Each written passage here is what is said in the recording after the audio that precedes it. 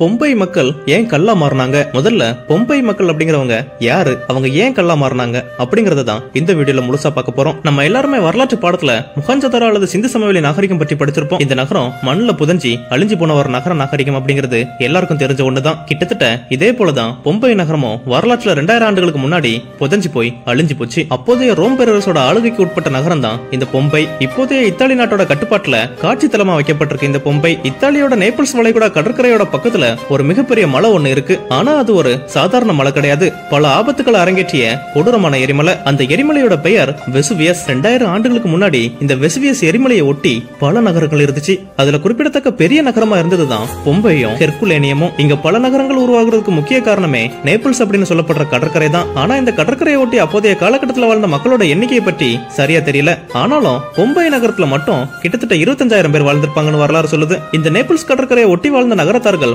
உணவகம் கலை நிகழ்ச்சி கூடம் துறைமுகம் விளையாட்டு அரங்கம் பொது கழிப்பிடம்னு கட்டட அமைப்பிலையும் நாகரிக வளர்ச்சியிலையும் செல்வ செழிப்பா புகழ் பெற்றிருந்தாங்கன்னு வரலாற்று ஆய்வாளர்கள் தங்களோட ஆய்வின் மூலம் உறுதிப்படுத்திருக்காங்க இப்படி எப்பவுமே பரபரப்பா இருந்து கொண்டிருந்த நேபிள்ஸ் கடற்கரையை ஒட்டி வாழ்ந்த நகரவாசிகள் அந்த கடற்கரையை ஒட்டி இருக்கிற எரிமலையால ஏற்படக்கூடிய ஆபத்தை உணரல. ஏன்னா வெசுவியஸ் எரிமலை அப்போதைய காலகட்டத்துல அதாவது கிமு 79 முன்னாடி நாற்பதுக்கும் மேற்பட்ட முறை அவ்வப்போது புகையை கக்கிய வண்ணம் தான் இருந்துச்சு. இந்த எரிமலையை ஒட்டி வசிக்கிற மக்கள் இதெல்லாம் ஒரு பொருட்டா கூட எடுத்துக்கொள்ளாதற்கு முக்கிய காரணமே அந்த காலகட்டத்துல அறிவியல் அவ்வளவுக்கு வளரல. அந்த எரிமலைகளை கடவுளுக்கு நிகரா அந்த மக்கள் நினைச்சிருந்தாங்க. கடைசியில தான் தெரிஞ்சது அந்த எரிமலை கடவுள் கிடையாது. தங்களோட உயிரை பறிக்க வந்த யமன் அப்படிங்கிறது கிமு எழுபத்தி ஒன்பதாம் ஆண்டு ஒரு நாள் வழக்கம் போல பொம்பை மக்களுக்கு விடியவும் செஞ்சது. ஆனா அந்த விடியல் தான் இவங்களுக்கு கடைசி விடியலும் கூட. காலையில எட்டு மணி இருக்கும்போது பெரிய சத்தத்தோட வெசுவியஸ் எரிமலை புகையை கக்குச்சு. அந்த எரிமலையை ஒட்டியுள்ள மக்களோட அலட்சிய போக்கால இது ஒரு சாதாரண சத்தம் தான் நினைச்சு தங்களோட பணிகளை வழக்கம் போல தொடர்ந்தவனா இருந்தாங்க. அன்னைக்கு பறவைகள் கூட எல்லாமே வானத்துல வட்டமிட்டு எச்சரிக்கை அடிச்சிட்டு தான் இருந்தது. மத்தியானம் ஒரு மணி இருக்கும்போது கொஞ்சமா வந்த புகை பெரிய சத்தத்தோட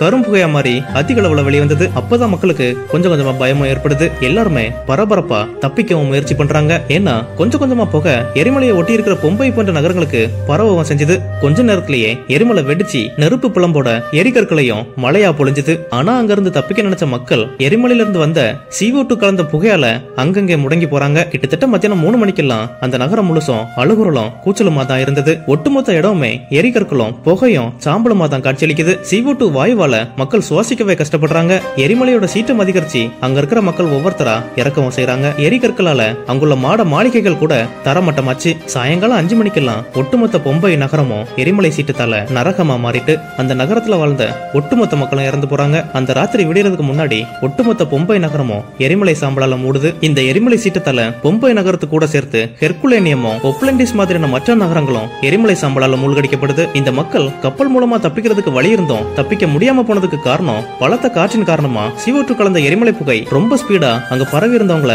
நகர முடியாம செஞ்சுட்டு அதுக்கு பிறகு சில நூறாண்டுகள் ஓடிச்சு எரிமலையோட சாம்பல்னால எரிமலையை ஒட்டியுள்ள நிலப்பரப்பு வளமிக்க மண்ணா மாறி செடி கொடி மரங்கள் வளர்ந்து பச்சை பசனு காட்சியளித்தது இதனால வெசுவியஸ் எரிமலை ஏற்படுத்திய அழிவை காலப்போக்கில் மக்களும் மறந்து போனாங்க. அது மட்டும் இல்லாம இவ்வளவு பெரிய பாதிப்பு ஏற்பட்டும் அங்க மக்கள் இன்னமும் பெரிய அளவுல வாழ்ந்த வண்ணம் தான் இருக்கிறாங்க. இப்ப நீங்க பாக்குறது இத்தாலி நாட்டோட வெசுவியஸ் எரிமலையை ஒட்டியுள்ள நகரங்களோட இன்றைய நிலைதான். இப்படி மண்ணுக்குள்ள உறங்கி கொண்டிருந்த பொம்பை நகரம் கிபி ஆயிரத்தி எழுநூற்றி நாற்பத்தி எட்டுல புதைப்பொருட்கள் தோண்டும் குழுவால புதையலுக்காக தோண்டப்படுது. ஆனா புதையலுக்கு பதிலா சாம்பலால மூடப்பட்ட எலும்பு கூடுகள் தான் கிடைக்குது. இதனாலதான் அந்த நாட்டு அரசு தொல்லியல் ஆய்வுக்கு அந்த இடத்தை உட்படுத்துது. அந்த இடத்துல பல தொல்லியல் ஆய்வாளர்களும் ஆட்சி செய்யறாங்க முதல்ல கட்டடங்களும் பல பொருட்களும் தான் கண்டுபிடிக்கப்பட்டது. பல ஆண்டுகளுக்கு பிறகுதான் இந்த இடத்துல மனித எலும்புகள் கண்டுபிடிக்கப்படுது. இந்த எரிமலை விபத்துல வரலாற்று ஆய்வாளர்கள் இருபதாயிரத்துக்கும் மேற்பட்டோர் இறந்திருக்கலாம்னு சொல்றாங்க. ஆனா இது வரைக்கும் ஆயிரத்தி ஐநூறுக்கும் அதிகமான எலும்புக்கூடுகள் மட்டும் தான் கண்டுபிடிச்சிருக்காங்க. ஆயிரத்தி எண்ணூறு ஆண்டுகள் ஆன பிறகும் இந்த எலும்புக்கூடுகள் எரிமலை சாம்பல்னால பொருத்தப்பட்டு பாதுகாப்பா இருந்ததுதான் ஆச்சரியம். அந்த சாம்பல்ல உள்ள வெப்பத்தாலையும் சாம்பல்ல உள்ள உப்புக்களாலையும் இது மம்மிகள் மாதிரி பாதுகாக்கப்பட்டிருக்கலாம்னு நம்பப்படுது. இருந்தாலும் பல மனித எலும்புக்கூடுகள் சிதைவடைந்த நிலையில தான் கண்டுபிடிக்கப்பட்டிருக்கு. உண்மை என்னன்னா இங்க வாழ்ந்த மக்கள் கல்லா மாறல. மாறா கல்லா மாற்றப்பட்டிருக்காங்க. வரலாற்று ஆய்வாளர்கள் எரிமலை சாம்பல்ல புதையண்ட பொம்பை நகர அகழ்வாராய்ச்சி செஞ்சப்போ எரிமலை சாம்பல்னால மூடப்பட்டு பாதுகாக்கப்பட்ட மம்மிக்கல் போன்ற மனித எலும்பு கொடுக்கல. கையாளும் போது சேதம் ஏற்படாம பாதுகாக்கும் பொருட்டு பாரிஸ் சாந்துவ கரைச்சி அந்த மனித எலும்பு எலும்புக்கூடுகள் மீது பூசி மோல்டிங் செஞ்சிருக்காங்க. இது மூலமா பொம்பை நகர மக்களோட கடைசி நேர உயிர் போராட்டத்தை பார்க்கவும் முடியுது. பொம்பை மக்கள் இறக்கும் போது அடைஞ்ச வலியையும் வேதனையும் பாரிஸ் சந்த சிரமத்தை பயன்படுத்தி மோல்டிங் செய்து ஆய்வாளர்கள் காட்சிப்படுத்தினாங்க. அதுல ஒரு சில புகைப்படங்கள் தான் இது. கிட்டத்தட்ட இருநூற்றி எழுபது ஆண்டுகளுக்கு மேலாக தொடர்ற இந்த தொல்லியல் ஆய்வு இன்னைக்கும் தொடர்ந்துட்டு பார்த்துட்டு தான் இருக்கு. ரெண்டாயிரத்தி இருபதுல கூட பொம்பை நகரத்துல உள்ள துரித உணவகம் ஒன்னு கண்டுபிடிக்கப்பட்டது. உலக நாடுகள்ல பல நாடுகள் இந்த ஆய்விற்காக ஆதரவு கரம் நீட்டியிருக்கு. யுனெஸ்கோ கூட இந்த பொம்பை நகர உலக பாரம்பரிய களமா அறிவிச்சு பெருமை சேர்த்திருக்கு. இந்த உலகத்துல உள்ள முக்கியமான சுற்றுலா தலங்கள்ல இத்தாலியில உள்ள இந்த பொம்பை நகரமும் ஒண்ணுன்னு சொன்னா அது மிகையாகாது. அண்டொன்றுக்கு கிட்டத்தட்ட ரெண்டு புள்ளி அஞ்சு மில்லியன் சுற்றுலா பயணிகள் இங்க வந்து பார்வையிட்டு போறாங்க.